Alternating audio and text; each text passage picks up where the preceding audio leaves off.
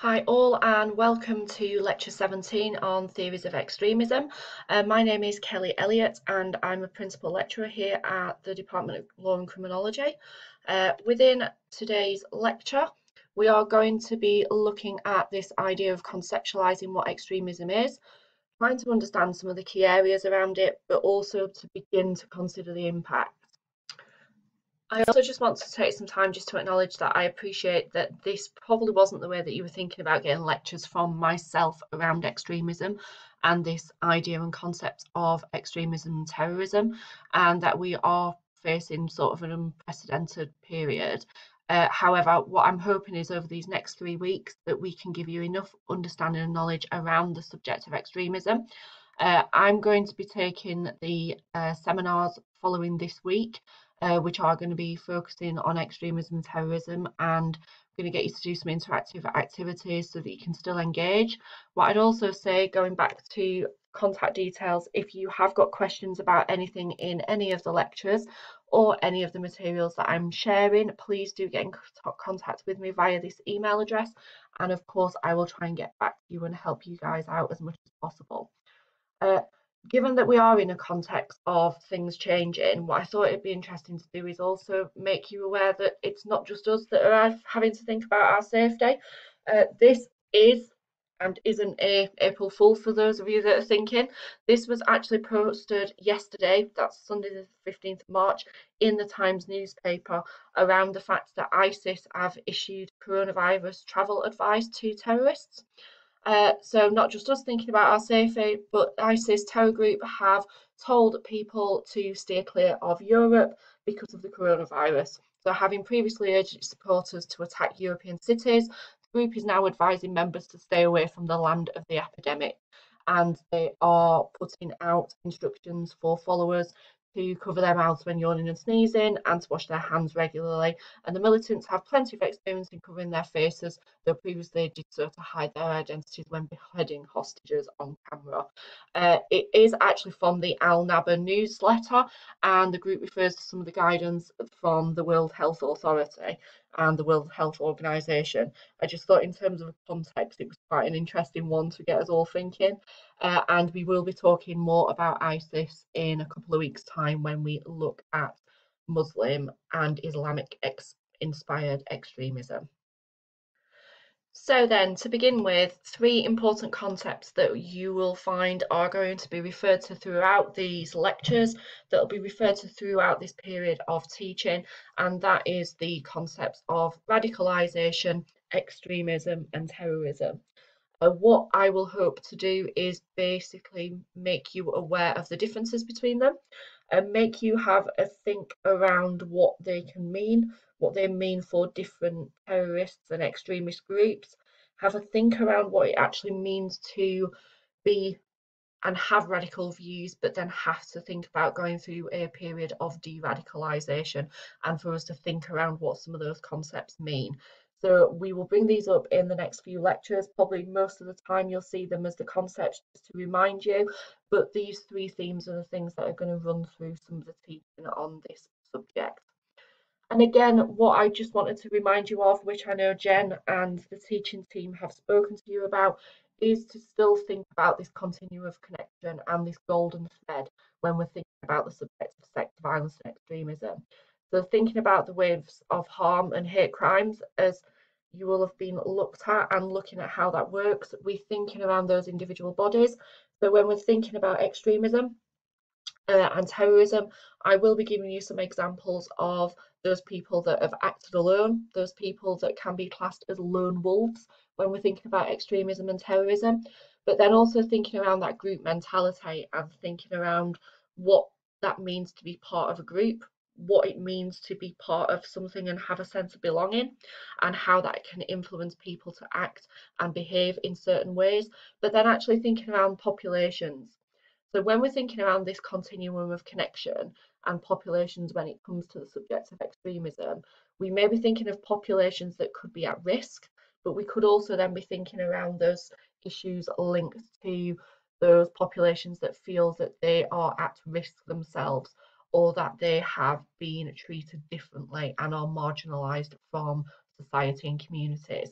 So when we're thinking about that continuum, this is where we can think around the fact that sex violence and extremism have some of those golden threads and some of those issues and thinking around actually how victimization can then be perpetuated through society and communities.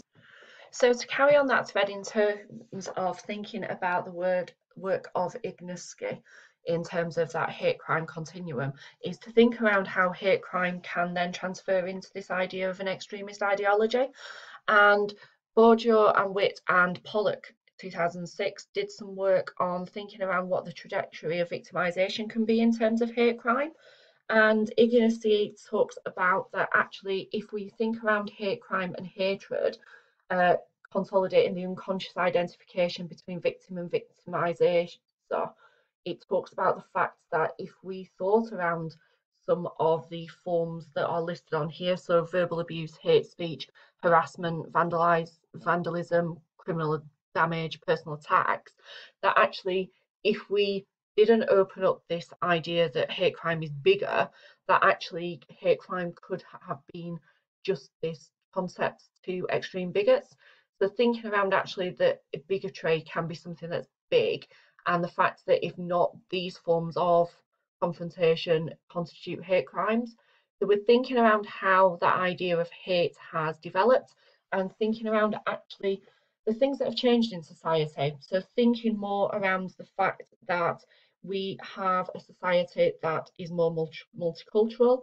We have moved to a society that demands more around regulation and organisations in societies, and that actually we can't just rely on this idea of everybody getting on, everybody in a situation where we have a common goal and a common thread, because people will say that actually social integration isn't as simple as it was. Actually, that common ethos, the purpose, isn't as reliable as it previously was.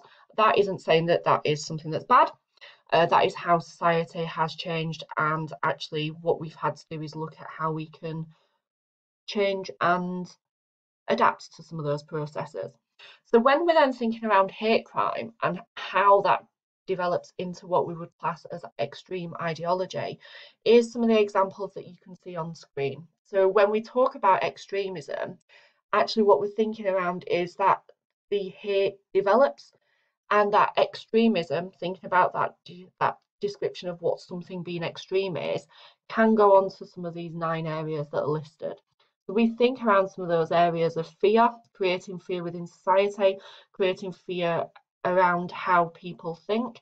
We think about malicious communication, and we'll give you some more examples of this when we're looking definitely at left, right wing extremism groups and also around Islamic extremism. But thinking around then how bribery and extortion, public protests, some of the vandalism, personal violence can happen, happen, but also to think around how some of those behaviours can be glorified. And we'll look through in the next two weeks of some of those examples and how the media can glorify some of that behaviour. So I'm going to take you to some of the definitions that are used by the UK government that are part of both the Prevent strategy and the Home Affairs Select Committee, but also thinking around some of the legislation that exists. So when we look at the definition of what extremism is, we're talking about this idea from the Home Office in 2011, but also the House of Commons 2012. Interestingly, even though we are in 2020, the definition hasn't changed, and extremism is still seen as this vocal active opposition to fundamental British values, and it is around thinking around respect and tolerance of different faiths and beliefs. When we then look at the Terrorism Act in the year 2000, Section 1 talks around terrorism being the use or threat of action both in and outside of the UK. So thinking around the attacks that happen at the British Army or British forces that are overseas, but they are designed to influence any international government organisation or to intimidate the public. So it's thinking about advancing a political, religious, racial, or ideological cause.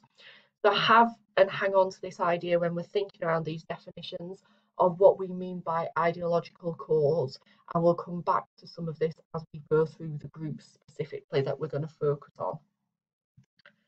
So when we're thinking about defining terrorism, Richardson in 2006 looked at the fact that it is a controversial and difficult issue. When we're thinking around terrorism, and when you and me may think about terrorism, we think about the attacks that have happened, especially in the last two, three years, but especially over the last six, seven years.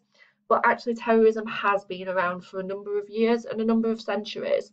But also the thing that actually there isn't this international consensus of a, def of a definition. So if you were to look at some of the different countries, have a look at what the uh, UN states, actually there are some different definitions in terms of what they think and that as Schmid and Jongman state that this definition isn't objective but it's about it being a social construct. Uh, I really do like the quote that's on here around one man's terrorist is the other man's freedom fighter.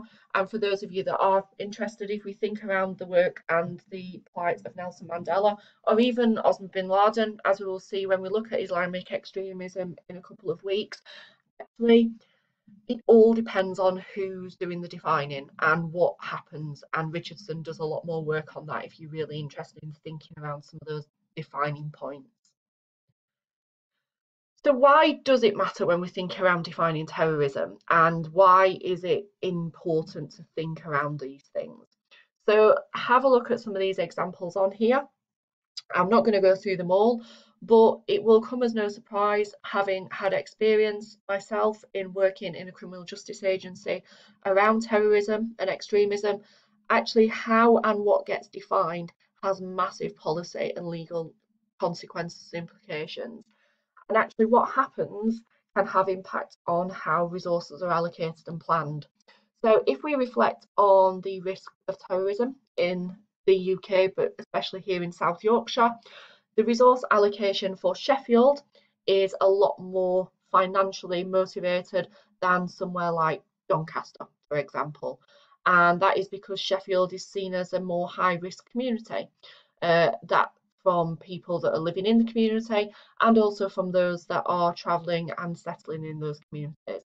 And we'll talk a little bit more around interventions and local uh, counter-terrorism plans in the coming week, but I'll try and share some of that information and knowledge around that with you. Actually, when we think around how we define it, we think around that implication of the Human Rights Act. So thinking around some of those rights, uh, we'll talk next week around some of those rights to protest, uh, rights to freedom of speech, thinking around some of those areas, and also to draw in how the media frames some of these areas and impressions. Uh, we'll reflect a lot on some of the recent attacks and also the attacks uh, to 9-11 and how people have been referred to, etc. Uh, also about thinking around some of those legitimacy arguments when we're thinking about counterterrorism, but also how people are viewed as being legitimate and the causes that they support. Uh, the one that we'll touch on next week is Extinction Rebellion uh, and how their behaviour has been formed and seen within communities and within the government, but also about some of the legitimacy of responses. Uh, and we'll try and take a bit of time to think about John Paul Men Menezes who, for those of you that aren't aware, was killed uh, by the police at a time when there was a lot of pressure around the fact that they thought he was going to uh, cause a terrorist attack. But thinking around some of those areas, what's also really important to think about is this lack of definition around future, future terrorism. Uh, we're going to spend some time thinking around the contest strategy, which is the UK's current approach to dealing with terrorism, and especially thinking around it's split into four P's, especially thinking about the impact of the prevent agenda. Uh, my previous experience when it comes to thinking around extremism and terrorism uh, was working closely uh, with the Criminal Justice Agency around the prevent agenda, and there's some really interesting thinking and discussions around that. So thinking about the focus that we're going to think around when we're thinking around extremism, we are going to look at the three main focuses. So we're going to spend some time thinking around, and this will be next week, uh, the right wing extremist view.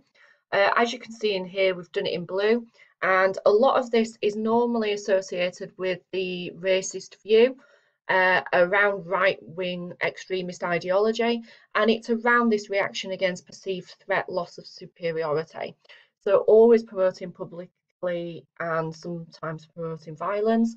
So, thinking about uh, groups like the English Defence League, uh, thinking as way back to uh, the BNP, so British National Party, uh, and thinking around actually what some of those traits are around masculinity, thinking around how those people can be portrayed. Uh, and we'll look at some real good examples, both locally, nationally, and internationally. Uh, and I'll use some of my experience to talk to you around what happened in Rotherham following the child sexual exploitation scandal and how the EDL, English Defence League, uh, were very prevalent within Rotherham and the impact that that had. We'll also then spend some time next week looking at the left wing view, which is the utilitarian view. And as Bentham said, even as far back as the 1700s, it's about the greater good for the greatest number. And the left wing view is thinking around liberty, equality, and ethics through promoting publicity and sometimes violence. So when we think about some of the left wing groups, we'll be thinking around uh, protests, we'll be thinking around groups around uh, animal rights, thinking around places to do with uh, health, well-being, buildings, economy, environmentalism, and we'll have a look at a few of those areas. Then the final week before Easter, we'll be having a look at the Islamic view of extremism. And we're thinking around that promotion of a distorted interpretation of the religious scripture. So thinking around actually this ideological way of life and actually how the writings of the Quran and the views of what Allah determines can be seen to promote violence, uh, killings, uh, and ensuring that the Islamic view is that of which is more superior to those of different areas. A lot of what we'll talk about when we think about the Islamic view of extremism thinks around the influence of government, thinks around uh, policy, thinks around how some of those areas have been developed, but then just to think around how this can be impacted both nationally and internationally. So, what we need to think about, and just to put into a bit of a context, is how the political ideology and political landscape can impact on the understanding of left, right, and centre views. So you'll see on here from some of the views and some of the pictures, you will have a continuum. So if we go from the extreme right, we have this extreme right view of fascism. And some of the areas, and we when we think about some of the ideals and people in there, you have Hitler. Hitler, regardless of what you say, had a fascist view around the extreme right and the treatment of individuals within Nazi Germany and how that can be seen as a preservation of hierarchy and superiority. So when we're thinking about this extreme right view, actually the extreme right view has been prevalent in society for a number of years and a number of centuries. Uh, coming back to current time, we think around the work and what Tommy Robinson gets up to, and we'll talk a lot more about Tommy Robinson in the coming weeks. We then go further into the right view, which can be seen as the conservative view. As you see, put some famous conservative leaders up there, from David Cameron, Margaret Thatcher, Theresa May, to our current Prime Minister and Home Secretary, Boris Johnson and Priti Patel. And if we think around some of those political ideological views and impacts of the right view, we can think around some of the policy changes, some of the impacts on sentencing, for example. Uh, so we're going to spend some time reflecting on what happened in London uh, at Fishmonger's Hall involving Usman Khan and think around the response of the Conservative government to those offenders who are currently serving terrorist offences and sentences and how the government has reacted to that.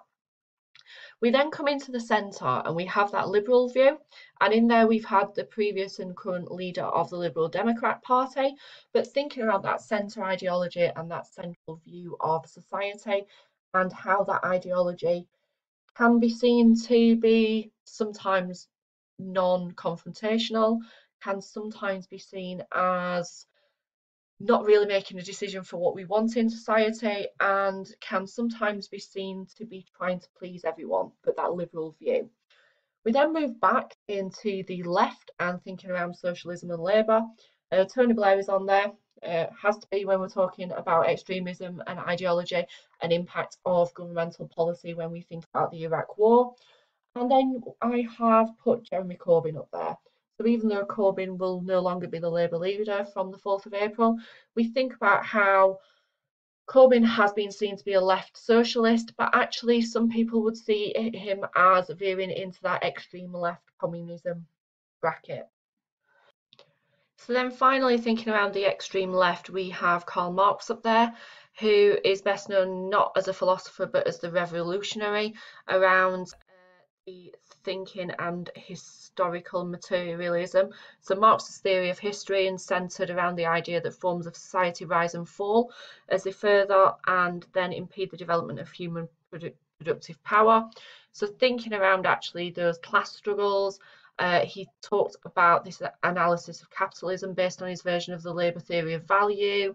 Uh, lots of different work then in a time in Germany, uh, but really influential if we think around the communist movement. You've then got Vladimir Lenin, uh, and Vladimir Lenin, again, Russian revolutionary politician, and he served as head of the government of Soviet Russia in 1917 to 24 and of the Soviet Union from 1922 to 20, 1924. Uh, he was well known for saying the goal of socialism is communism and fascism is capitalism in decay. Uh, a lie told often enough becomes the truth. So thinking around that communist view, uh, he was also famous in stating when there is a state, there can be no freedom. When there is freedom, there will be no state.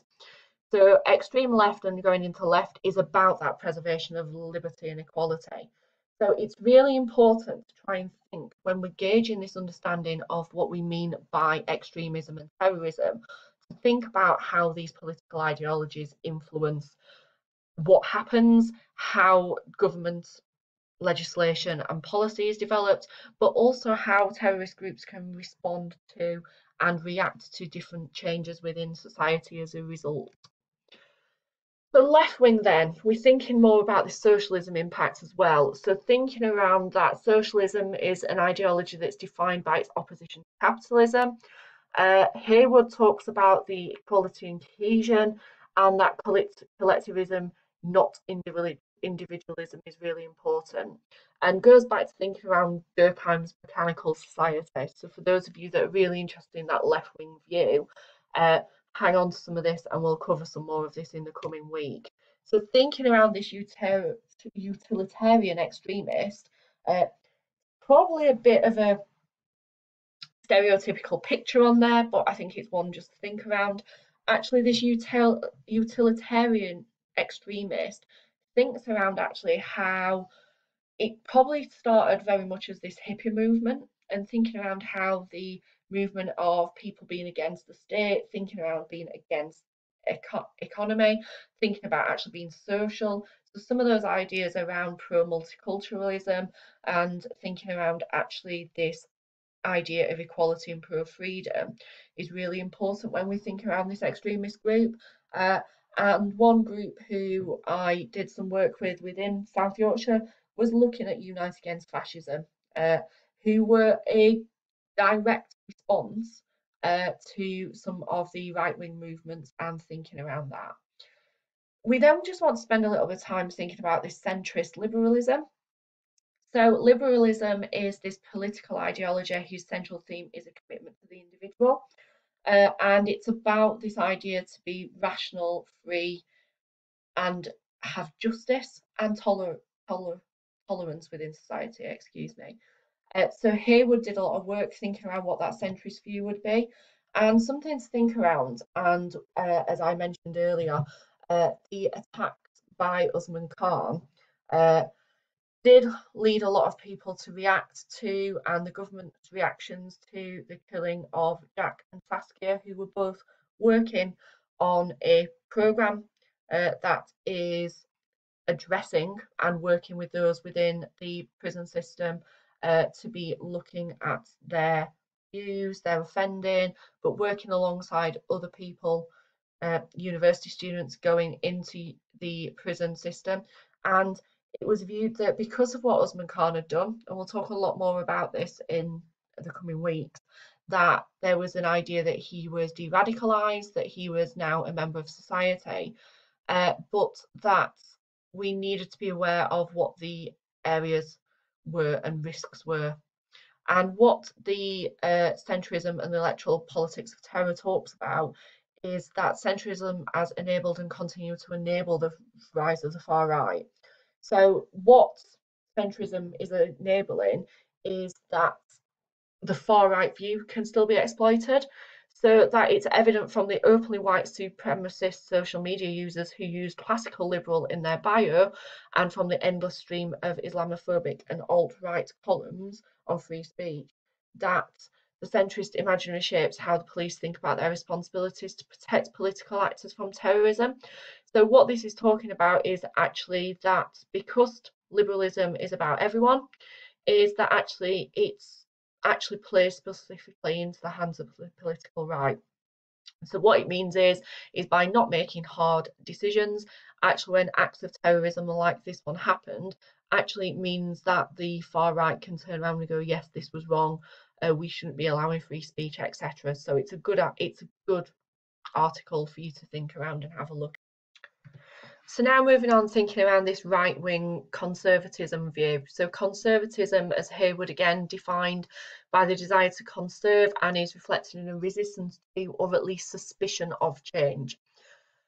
As humans, we hate change, and as societies, we hate change. So this idea of having this multicultural society, if we view what Heywood and others have said, is that right-wing conservatism is an absolute response to this change in society. So it's thinking around these ideas of conservative ideology or tradition. It's around this society and authority and property being by those that possess it. So thinking about white middle class men.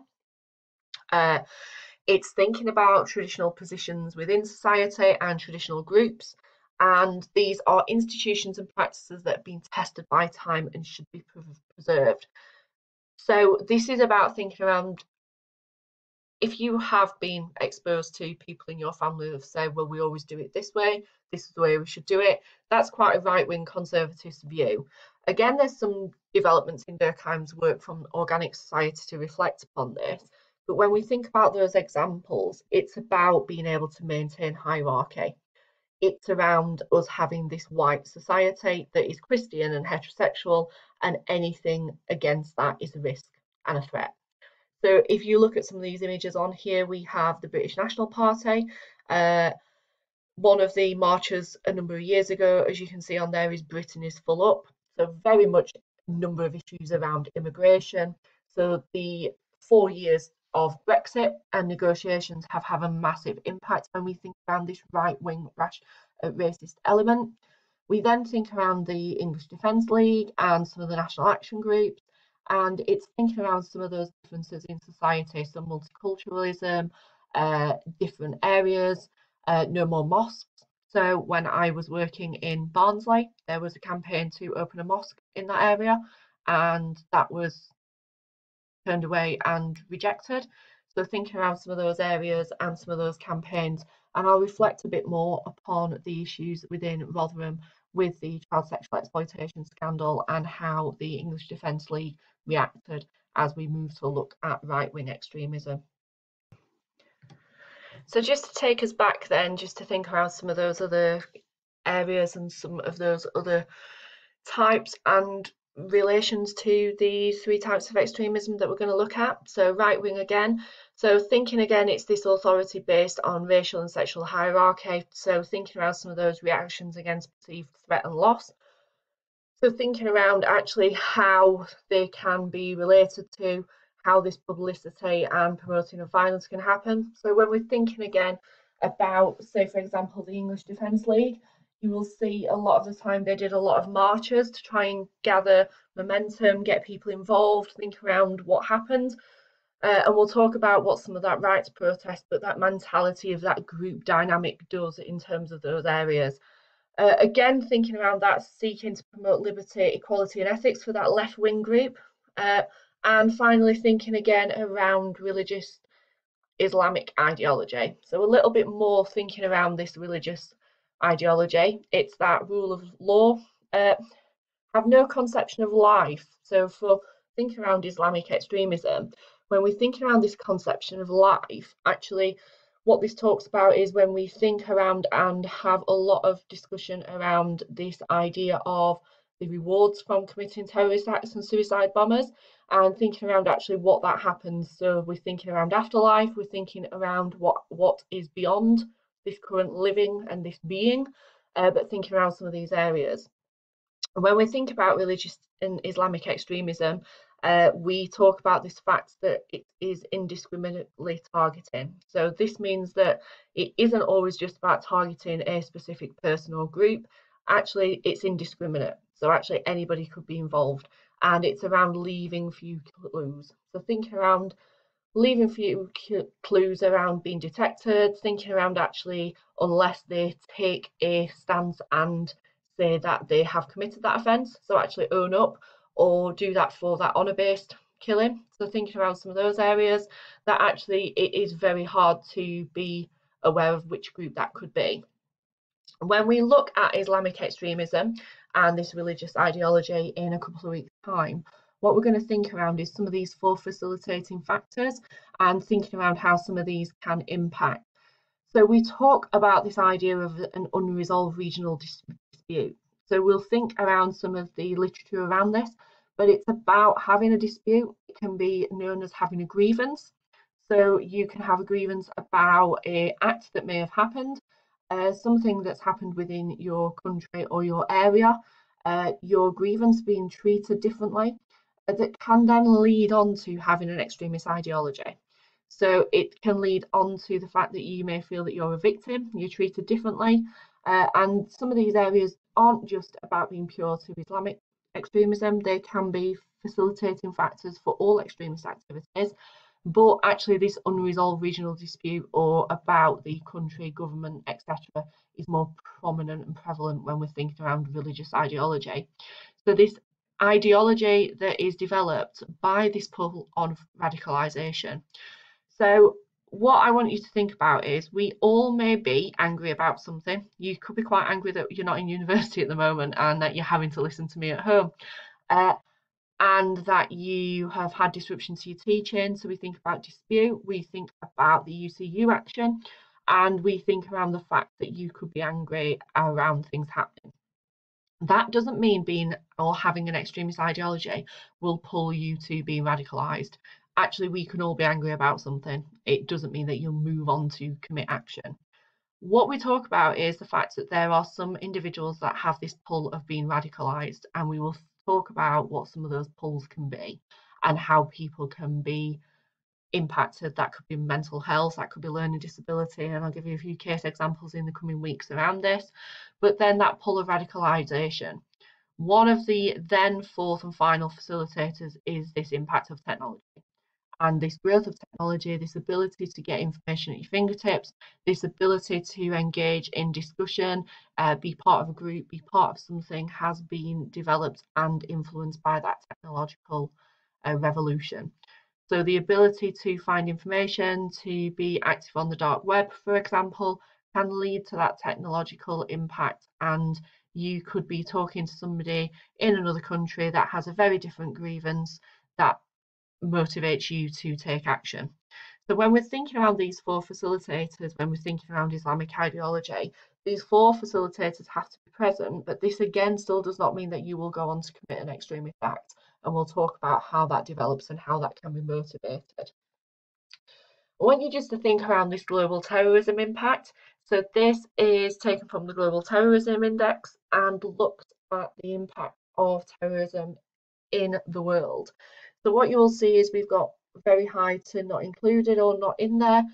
And even though you can see the UK and Ireland in there is in a medium colour, look at the other colours, countries that there are in very high and high.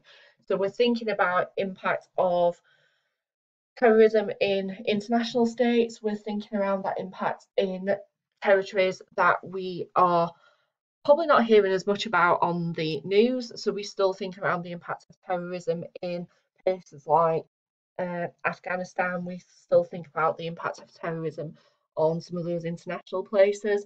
So when we think about the impact at home and the threat from the UK and Europe and terrorist groups being asked to come abroad to commit those offences, actually we still are within that medium and low territory and impact.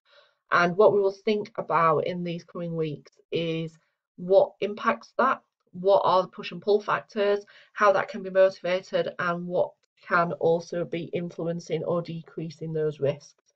We'll also think around how policing can impact on this and some of the decisions around policing Uh, and security services, etc. On here you will see the references of some of the materials that I've used. What I would recommend as a starting point is having a look at some of the strategies. So for any of you that have already done your first assessment on extremism and an extremism policy, some of you may be very familiar, but a really good starting point is looking at some of the House of Commons papers. So the roots of radicalisation policy, the prevent strategy, uh, but also thinking around some of the uh, hate crime global perspective pieces. So what we're going to do next is move on to the next lecture. If you do have any questions about the materials today, then please do get in contact with me. And thank you for taking the time to listen.